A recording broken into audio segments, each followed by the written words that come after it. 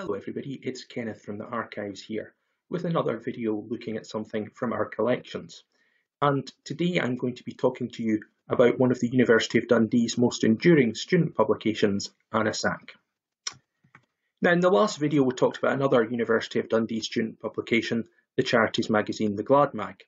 And of course the university has a long history of student publications, going right back to University College in the 1880s when the College magazine was launched. And there were various successors to that over the years, and no doubt we can talk about them in a future video. But the magazine I'm going to talk about today, I say magazine, some would say it was a newspaper and it sometimes flitted between the two formats, is this one, Annasach. Now Annasach was the first student publication published by the University of Dundee when it came into being in 1967. It was a completely new launch. They wanted to go for something new to symbolise the launch of the new university. Annasach sounds a bit odd. It's a Gaelic word and it means strange or unusual. And perhaps that was what they wanted to get across. We don't really know why that was chosen as the name, but it was an enduring name and lasted until the publication folded in the mid 1990s. Today we're going to be looking at the early years. So here's an early issue of Annasach. This is actually the fourth issue, but it was a momentous issue because this was the one published just after the university had had its formal inauguration ceremony and the Queen Mother had been installed as the first Chancellor of the university. And you get an idea that in this early format it was really a newspaper. It was providing news on events that were happening on the university, uh, things that were happening to students, what was going on in residences, you also get sport reports, you get reports of societies. So it's a real valuable insight into student life. Now, one of the figures who was key in the early days of Annasach was George Robertson. Now, George Robertson, now Lord Robertson of Port Ellen, is best known for his long political career. He served as Secretary of State for Defence in Tony Blair's government and then was Secretary General of NATO. So he had a long and distinguished career. But he had a very distinguished career at Dundee as well. He was a student at the time of separation from St Andrews in 1967 and was very proud of Dundee gaining university status. And he got his own column in Annasach called Shakeout. And he used that column to champion the new university. Now, one of the things he was passionate about was what degree students would take. Because in the early days, Students who started when it was the University of St Andrews could opt to either take a degree from the new University of Dundee or could take a St Andrews degree. And there was debate about what students should do. But George Robertson felt very passionately that they should take Dundee degrees, uh, and he really strongly campaigned for that to happen through his column. He was also very involved in student politics, and in the photograph on the right here, we see him participating in a 24-hour work in, in the library which he had organised to protest about government policies to do with student grants. At the time it was rumoured that the student grants were going to be cut by the Wilson government. He wasn't actually the only person involved in Annasach at this time that would go on to have a high profile. Indeed, his ministerial colleague Brian Wilson was also heavily involved in Annasach. Annasach was very much a campaigning newspaper in its early days. Uh, and one of the things that it was concerned about, and indeed many Dundee students at the time were actively concerned about, was protesting against apartheid regime in South Africa. And a big issue came in 1968 when a team from the Orange Free State was going to be playing a match, a rugby match, in St Andrews against a University of St Andrews team that was thought likely, and indeed in the end did include several players from Dundee. Now, George Robertson and a number of other students were very concerned about this and did not want this to happen.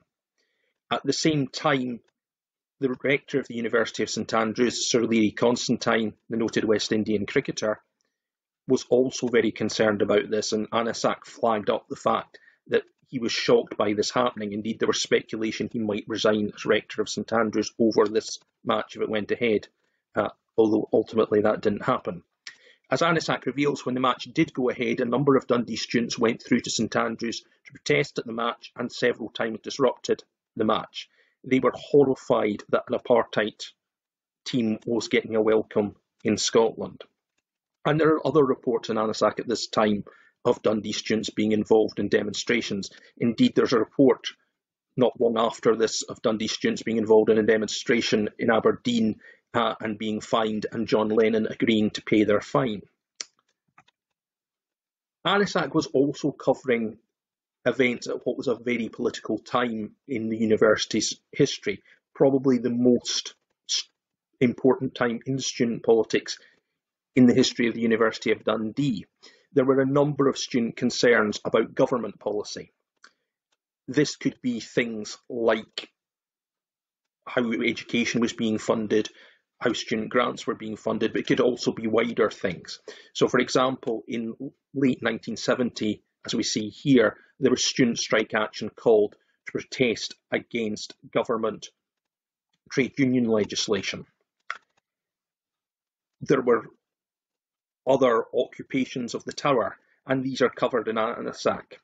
But the, undoubtedly the key political event of this time was the rent strike of 1973, which Annasach covered in detail. Now, the rent strike was basically a protest against reductions to student grant levels. It was very divisive. There were a number of students strongly supported the action. There were a number who were opposed to it. It divided the Students' Association.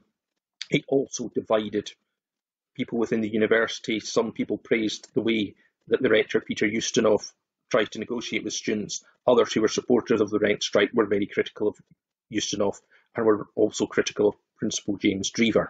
Um, eventually, the strike fizzled out and the strikers did not really achieve their aims. Annasach's coverage is interesting because Annasach was unashamedly pro-strike, but you do get the impression from some of the letters that were being written to it that this didn't necessarily reflect the views of everyone. Annasach also gives us insight into contests for student elections going on. Uh, and here in 1972, we've got the election for DUSA, the University Student Association, president for the following session. Uh, and the candidate who won is actually Eric F. Sanderson, who we can see here. And again, he's somebody that would go on to play an important part in the university's history later on, because after a successful business career, he would eventually come back to the university as chair of the university court. Uh, Eric Sanderson wrote for Annasach. His column was called Cat's Eyes, uh, and that was said to be because his opinions were so middle of the road. Now, Eric Sanderson was actually president at the time of the aforementioned student rent strike, and he got an awful lot of stick from Annasach, but he bore it with good grace, you would have to say. There are other interesting things about Annasach as well. We can see adverts, for example, so we can see what was being advertised as being in the Dundee cinemas. 1960s and early 70s, Dundee still had a few cinemas. We can also see what's going on at the theatres, we can see what bookshops are available and we also get information about record shops. So Annasach got off to a good start. Now in a later video we might talk about some of the later things that happened in Annasach. As I say, it did struggle on through to the 1990s when eventually a rival publication called McDougall affected its circulation to the point that it had, was shut down and re-established as the Student Times but that's another story. Anyway, I hope you've enjoyed this video. I hope you're all safe and well, and we'll see you again soon.